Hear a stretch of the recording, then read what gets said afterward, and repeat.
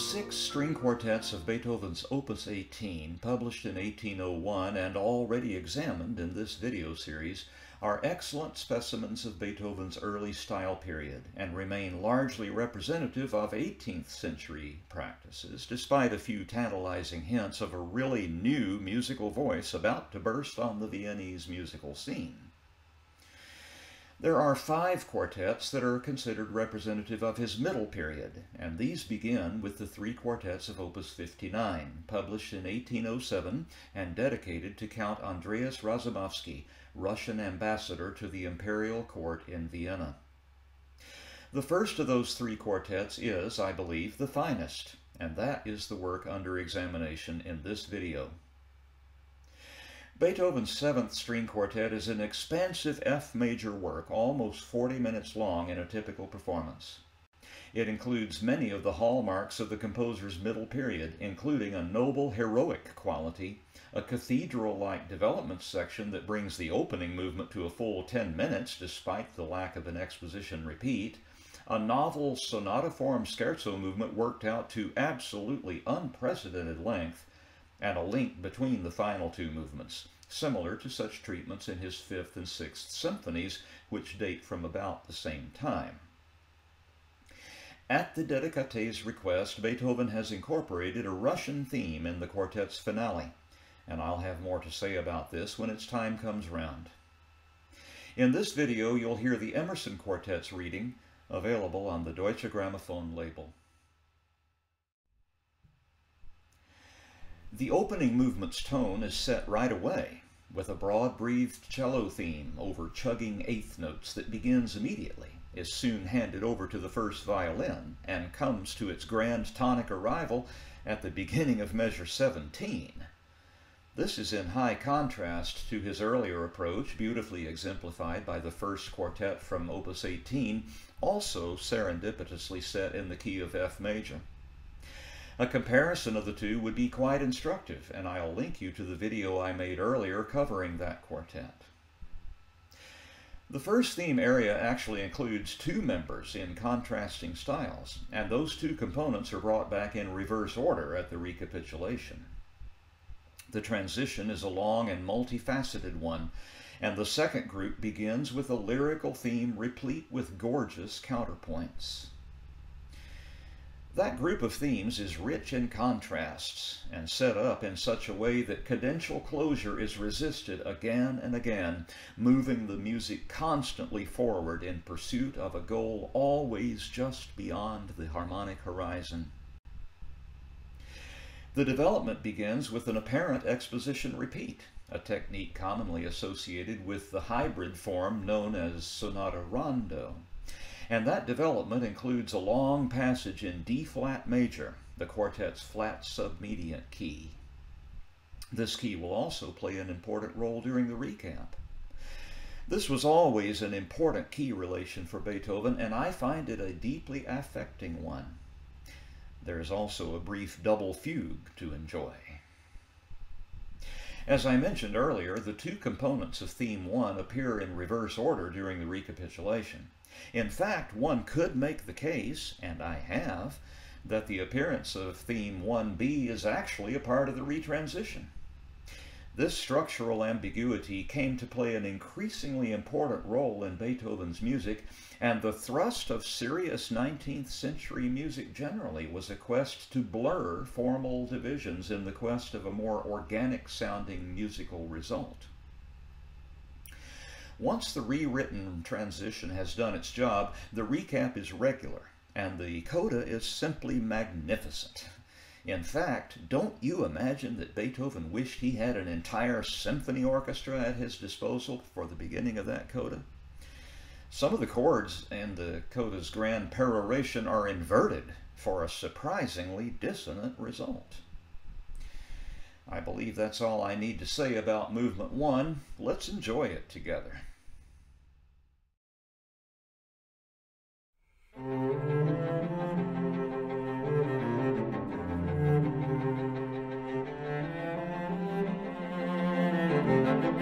you.